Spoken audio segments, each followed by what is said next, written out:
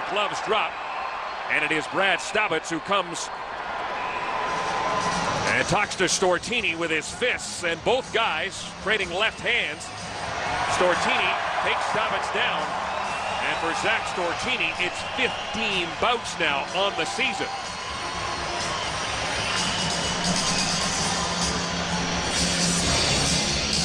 Zack Stortini gets in very aggressively. Good, hard, clean hit on Dan Boyle, the top defenseman for San Jose. Brad Staubitz comes over, engages him.